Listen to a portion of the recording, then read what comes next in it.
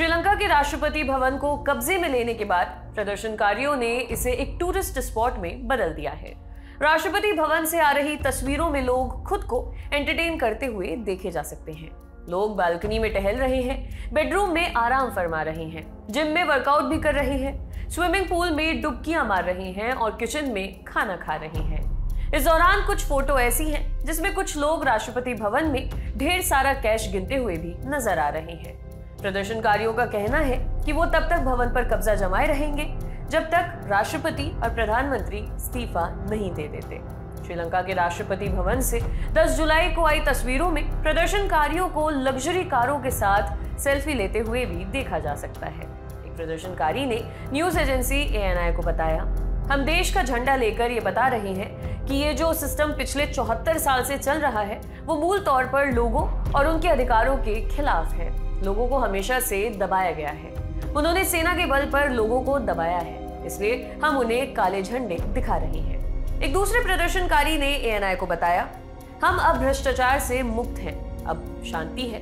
अपने परिवार और बच्चों के साथ यहाँ आइए। हम सब राष्ट्रपति भवन में लंच कर रहे हैं। अंतर्राष्ट्रीय न्यूज़ एजेंसी एपी की रिपोर्ट के मुताबिक, दोपहर के वक्त कुछ प्रदर्शनकारियों ने राष्ट्रपति भवन में चाय बनाई। वहीं कुछ ने कॉन्फ्रेंस रूम से बयान जारी करते हुए एक बार फिर से राष्ट्रपति और प्रधानमंत्री का इस्तीफा मांगा। इस बीच कुछ प्रदर्शनकारियों ने कहा कि उन्होंने राष्ट्रपति भवन में लाखों रुपए मिले हैं। इससे पहले 9 जुलाई को कोलंबो में प्रदर्शनकारियों ने अचानक से राष्ट्रपति भवन पर धावा बोल दिया। इस बीच देश के राष्ट्रपति गोटबाया राजपक्षे भाग गए। इन प्रदर्शनकारियों ने शाम के वक्त देश के प्रधानमंत्री रानिल विक्रम सिंघे के निजी घर को आग के हवाले कर दिया। इस पूरे घटनाक्रम के बीच गोटबाया राजपक्षे ने देश की संसद के स्पीकर को जानकारी दी कि वो 13 जुलाई को इस्तीफा देंगे। वहीं प्रधानमंत्री ने कहा कि वो सर्वदलीय सरकार के बनते ही इस्तीफा देंगे।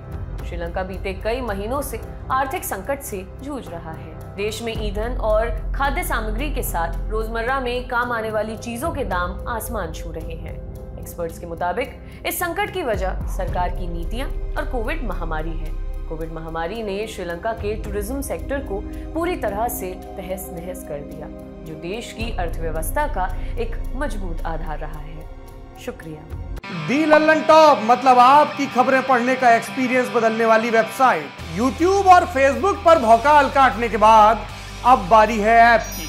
लल्लन टॉप ऐप, जो लॉन्च होते ही कुछ ही घंटों में बन गया था नंबर वन प्ले स्टोर से एंड्रॉयड ऐप इंस्टॉल कीजिए और जुड़े रहिए लल्लन टॉप खबरों से। अब एक ही जगह पर मिलेंगे पॉलिटिकल किस्से। लल्लन टॉप शो चुनावी कवरेज पड़ताल और आसान भाषा में। पाइए लल्लन टॉप की वीडियो सबसे पहले फेसबुक और यूट्यूब से भी पहले। खबरें और वीडियो का आपको मिलेगा नोटिफिकेशन बड़ी खबर हो या फिर हो, किससे? सब आपके फेवरेट सेक्शन आपको हैं बताने। इतना ही नहीं क्रिकेट मैच का स्कोर और इलाके में मौसम का ज़ोर भी जानिए। आज ही गूगल प्ले स्टोर पर जाइए और the Lallantop app install कीजिए।